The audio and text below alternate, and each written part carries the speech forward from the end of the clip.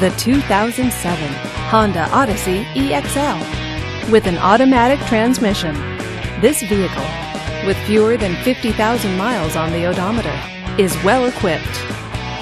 This Honda features powered door locks, a CD player, and alloy wheels.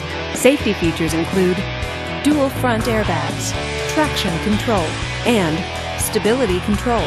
Comfort and convenience features include DVD entertainment system, Bluetooth wireless, satellite radio, and navigation system. Give us a call to schedule your test drive today.